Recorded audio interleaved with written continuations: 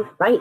Today I'm going to share a book called Share Some Kindness, Bring Some Light. I think it's a beautiful book about kindness and how we can spread it around the world. Now, in the, in the story, there's a little girl named Coco, and there's a big bear. And you can tell that Coco Coco's a little scared the first time she sees that big bear. he doesn't look so scary there, though.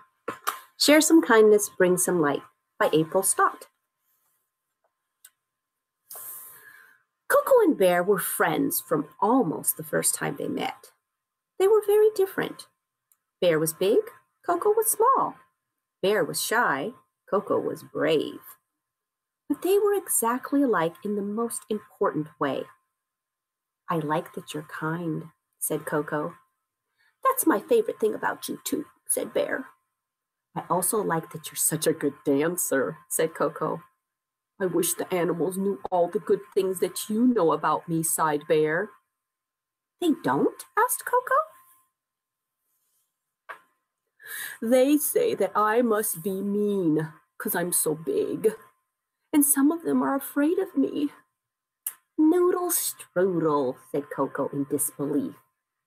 Yeah, said Bear, sniffling. Coco gave Bear a big, tight hug, because that's what made her feel better whenever she was sad. After Bear got some of his sadness out, Coco said, My grandma always says, when life gets dark as winter's night, share some kindness, bring some light. If we can do that, maybe the other animals will see what a good, kind bear you are. But how do you share kindness? asked bear. Coco thought for a moment.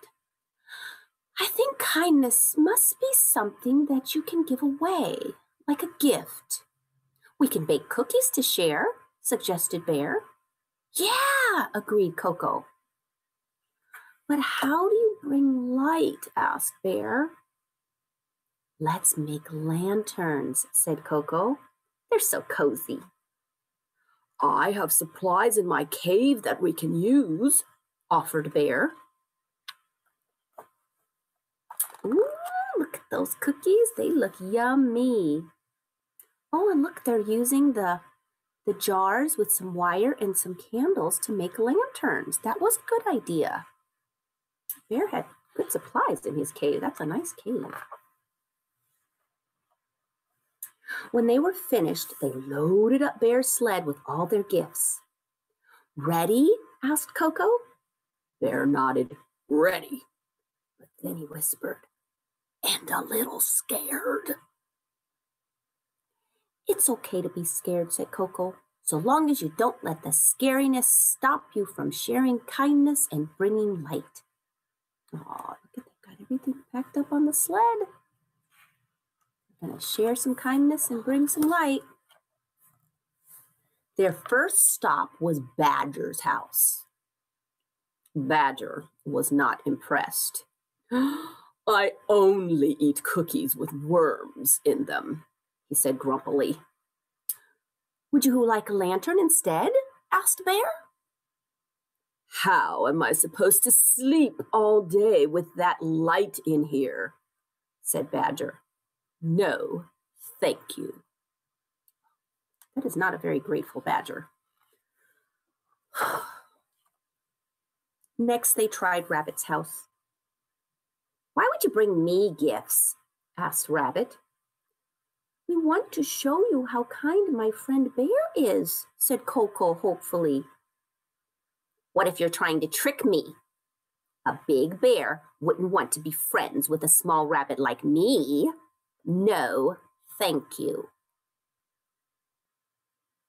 They didn't have much luck with Hedgehog. Look, Hedgehog's running away. Or Skunk either. Skunk's going, no. Poor Bear. I'm ready for a break, sighed Bear. Maybe we need to make some different gifts and try again tomorrow, said Coco.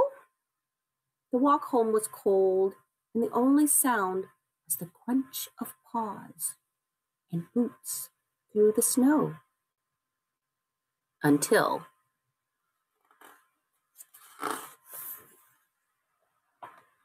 Help! Did you hear that? asked Bear.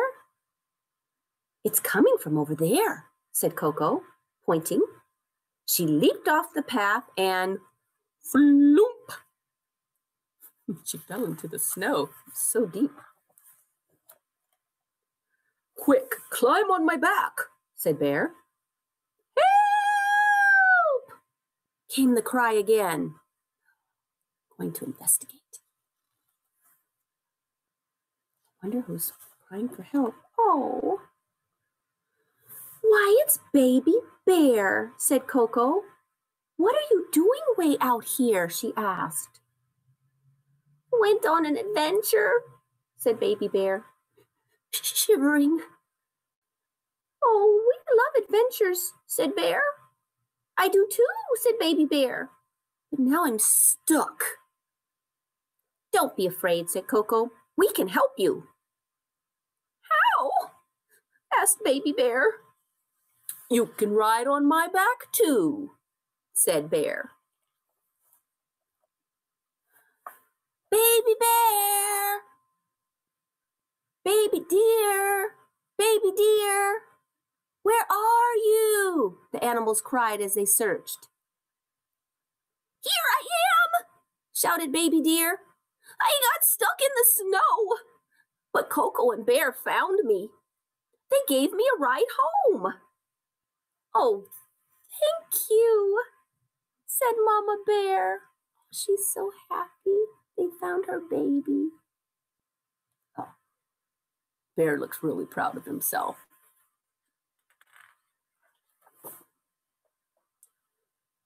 Wow, good thing Bear is so big, exclaimed Rabbit. And brave, said Hedgehog. And friendly, added Skunk. I guess he is a kind bear, grumbled Badger. Bear, did you hear that? They finally figured out that you're kind, exclaimed Coco. But I don't understand, said Bear. They didn't want our cookies or lanterns.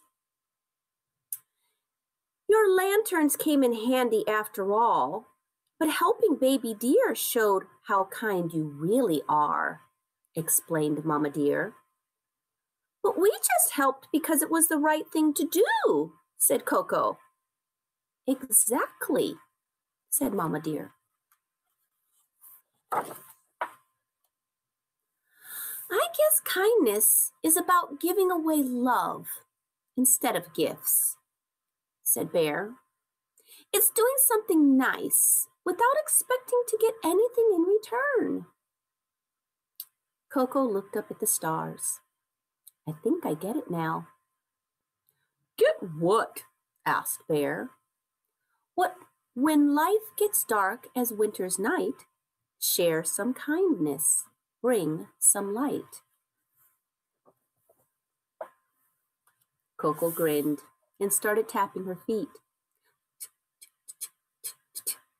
But Bear, there's one more thing that the others still don't know about you.